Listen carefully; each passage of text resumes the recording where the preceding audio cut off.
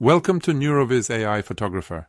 In this video, I'll guide you through the user interface and show you how to use our applications to generate high-quality product visuals.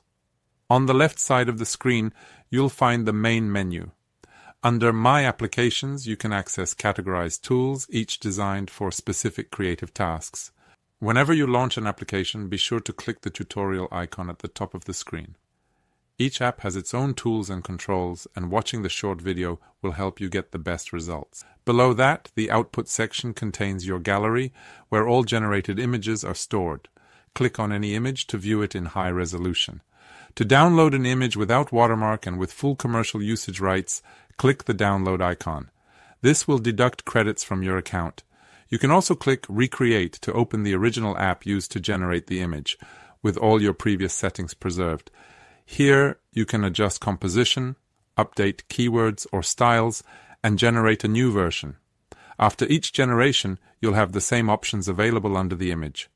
Download, upscale to high resolution, create a video, or regenerate using the same parameters.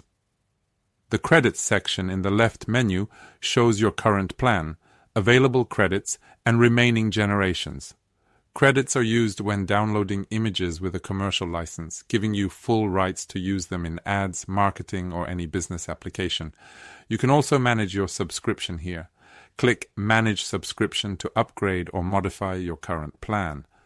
Under the Learn section, you'll find our Academy, which includes tutorials on using a tripod professionally, setting up a home studio, and taking high quality product shots.